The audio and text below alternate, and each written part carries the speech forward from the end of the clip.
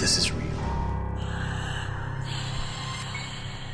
And it's gonna end bloody for all of us. My name is Death, and the end is here. We gotta just grab onto whatever's in front of us, kick its ass, and go down fighting. I can get on board with that.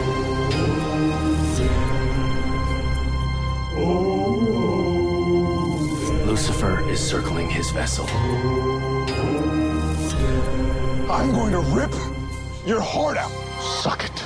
But what is this that I can't see with ice cold hands taking hold of me? So what do we do now? We'll make our own future. When God is gone and the devil takes hold, who will have mercy on your soul?